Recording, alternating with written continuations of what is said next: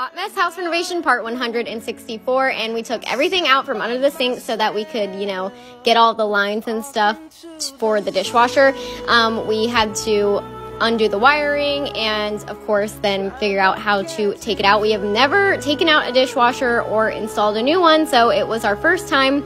And we did have a little bit of trouble, but I think if we ever had to do it again, um, it would be like fairly simple.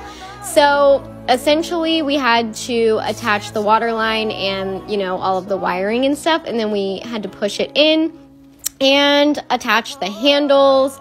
Uh, also, screw it into the bottom of the countertop and uh, add the kick plate. This did take us all day, but that's okay. Uh, I'm gonna clean up tomorrow and then I'll explain the whole like microwave situation.